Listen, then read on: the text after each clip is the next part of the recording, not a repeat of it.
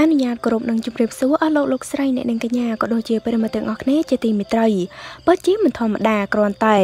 គ្រឿងអលង្ការដែលអុកសគុណកញ្ញាក្រុងពេលសូត្រមុន ថ្ងៃចូលរោងគឺមានតម្លៃរហូតដល់ចាតើមានតម្លៃប៉ុន្មានឥឡូវយើងតាមដានរឿងលម្អិតទាំងអស់គ្នា រាជធានីភ្នំពេញពិធីមង្គលការរបស់តារាចម្រៀងល្បីកញ្ញាអុកសុគន្ធកញ្ញាបានធ្វើឲ្យកក្រោកពេញពិភពសិល្បៈតាំងពីការថតរូប pre-wedding រហូតដល់ការចំណាយទូទៅ លើការរៀបចំកម្មវិធីរៀបការទាំងមូលដោយដែលប្រិមិត្តបានដឹងរួចហើយថ្ងៃនេះគឺជាថ្ងៃចូលរោងដែលមានកម្មវិធីសូត្រមន្តសានក្រុងពេលីនិងពិធីសំខាន់សំខាន់ជាច្រើន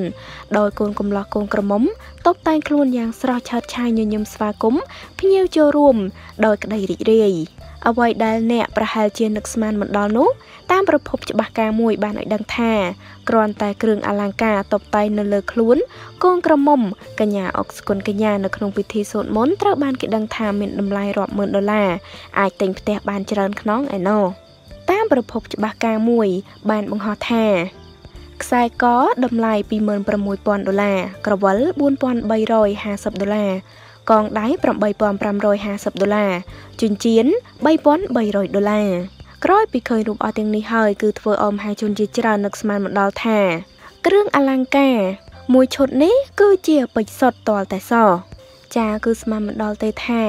គ្រឿងអលង្ការមួយឈុតនេះគឺជា គ្រឿងពេជ្រសុទ្ធដែលកញ្ញាអុកសកុនកញ្ញាបានពាក់នៅក្នុងកម្មវិធី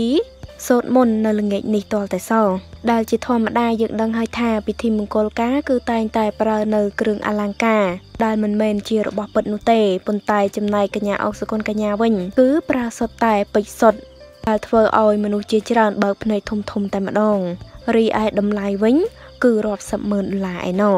ចាហើយតកតងនឹងអត្ថបទនេះដែរក៏សូមបញ្ចប់តែត្រឹមនេះអរគុណបងប្អូនទាំងអស់គ្នាសូមគោរពលា